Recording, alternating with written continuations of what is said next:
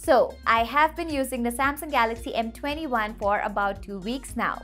Its predecessor, the Galaxy M20 that was launched back in 2019, was appreciated by many. The M21 here brings improvement over the M20 in a variety of aspects like display, performance, and cameras. And I think this is the first time that we have seen so much leap from one generation Samsung budget phone to another. Keeping that aside, we cannot ignore the fact that the Galaxy M21 is strikingly similar to the Galaxy M30s spec-wise and even design-wise.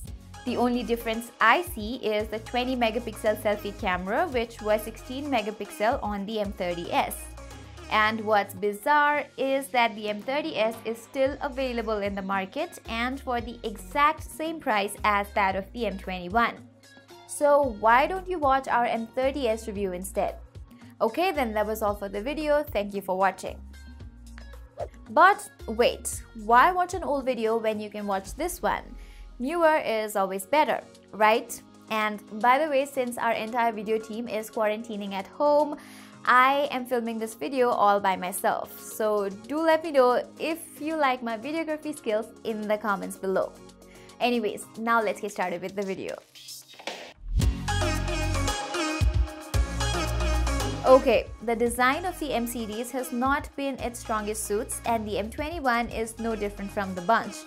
But the key takeaway here is that the phone has a huge 6000 mAh battery and yet it's not very thick nor it's very heavy.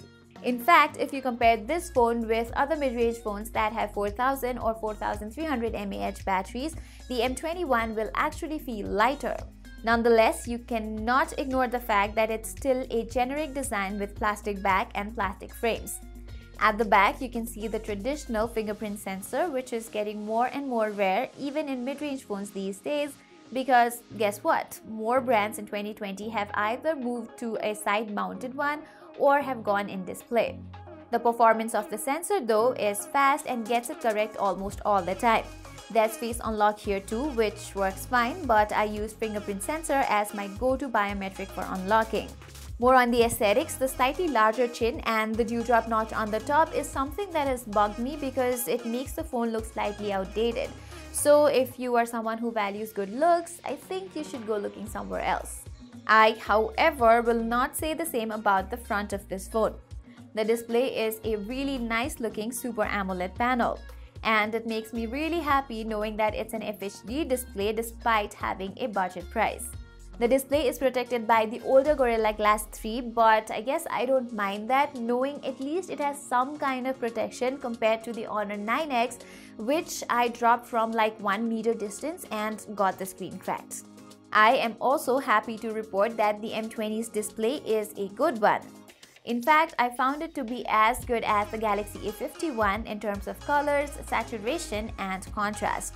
You can watch Amazon and Netflix content on this one at FHD resolution as it supports Widevine L1 certification. Talking about brightness, it's sufficient indoors, but in outdoor scenarios, you might want to go to its full brightness just to make the content visible. One thing though, what this display lacks is a higher refresh rate like the Realme 6, which is its closest competitor. But again, the display on the Realme 6 is an IPS one and this one's AMOLED, so there's that. Overall, I must quite praise the fact that you are getting a good quality AMOLED panel on the M21 as opposed to the IPS one on the M20. At least here, you can enjoy the perks of the always-on display feature and a well-functioning dark mode. Now let's get to the performance, which this time is powered by the Exynos 9611. And since this is not the first time that we're seeing this chipset on a Samsung phone, we know how it performs. And in case you have not followed our review of other phones with this chipset, it performs pretty well, at least for this price. But again, it all boils down to the competition because, well, the Realme 6 sports a much better MediaTek Helio G90T chipset for the same price. So even though the Exynos 9611 performs well enough, the Helio G90T is a better option whether you look at benchmarks or experience gaming on the phone. So for the core performance aspect, the Realme 6 will serve you better. But of course, the M21 is not downright miserable. With the improved optimization of the Android 10 based One UI 2.0, your daily tasks like browsing the web, using Instagram, messaging, a little bit of multitasking should have no problem running. However, you might notice slight hint of lags while multitasking with heavy apps and sometimes with navigating as well. That being said, One UI is great and I love it. From the notifications panel to multitasking window to the app arrangement in folders, everything works well for me. There's also very little bloatware and most of them can be uninstalled unlike many Chinese brand smartphones. Also another thing that I like about Samsung is how they do the dark mode optimization better than the others which makes the AMOLED display more pleasing to look at. For the gamers out there, you can crank up high-end games like PUBG to HD graphics and ultra frame rates, but gameplay in that setting will result in frequent lags and stutters. The best gameplay, I would say, will be a combination of graphics set to smooth with ultra frame rates that will give you around 40 to 45 FPS during gaming. In comparison, you can play PUBG in HDR graphics and ultra frame rates pretty smoothly on the Realme 6. This makes it obvious that the Realme 6 is a better gaming phone. So if you are someone who does not play games at all or if you are a casual gamer, then the M21 should serve you well. Memory-wise, there are two options, 4GB RAM with 64GB storage and 6GB RAM with 128GB storage. And Samsung has made sure to provide DDR4X RAM and UFS 2.1 storage in both the variants.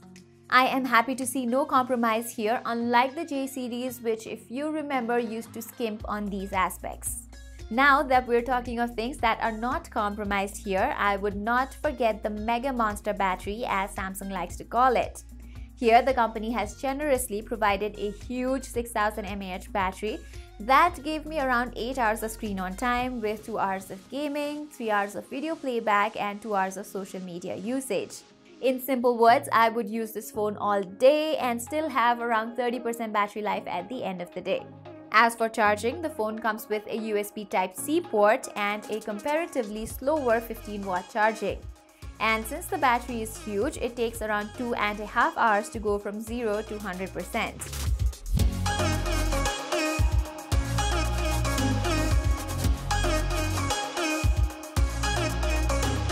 Okay, Finally, let's talk cameras.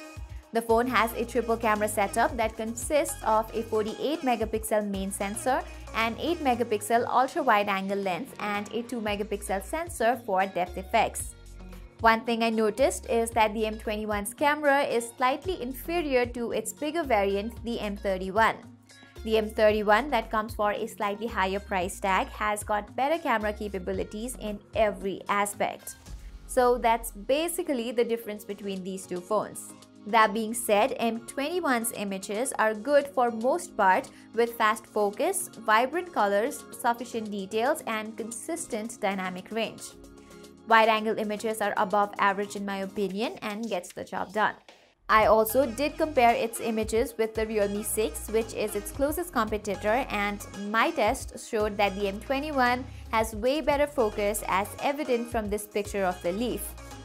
Having said that, both phones are neck to neck in both normal and wide-angle image capabilities. One difference though in the wide-angle images from the phones is that the M21 has a wider focal length hence giving you more viewing area.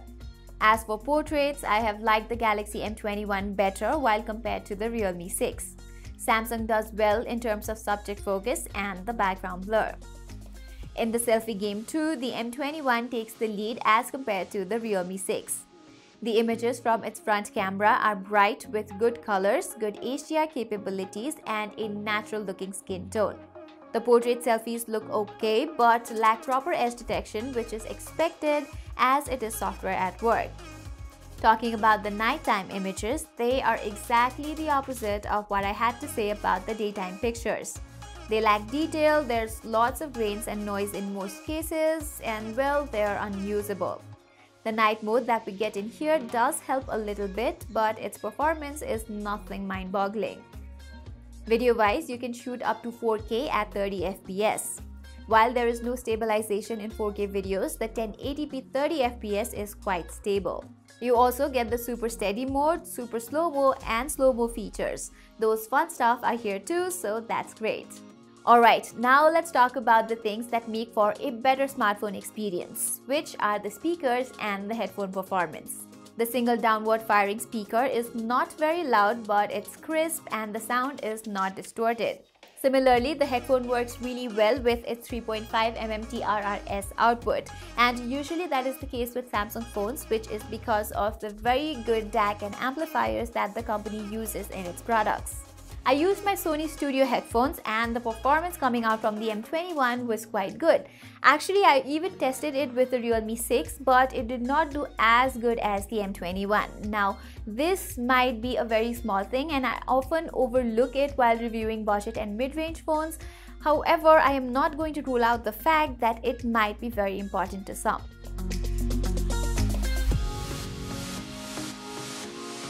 To conclude, I like what Samsung is offering with the Galaxy M21. And although it is very similar to the Galaxy M30s, the M21 comes with the latest Android 10 version. So this means that the M21 holds a better possibility of getting longer security and firmware updates in the course of its life. Now talking about the competition I have been mentioning throughout this video, the Realme 6 yes it does give you a better gaming experience with a better SoC and a 90Hz display panel but the M21 has its own benefits as it gives you a little bit of everything and personally, I think the Galaxy M21 is perfect for non-gamers and for someone who watches a lot of videos on a single charge and wants the best camera at this price bracket. In the future though, I would definitely like to see Samsung bring out an M series smartphone that is more focused on gaming perhaps. That would be great. So that was our review of the Samsung Galaxy M21. In the end, what I would like to say is please take necessary precautions to keep yourselves and your loved ones safe from the ongoing pandemic. Stay indoors and stay safe.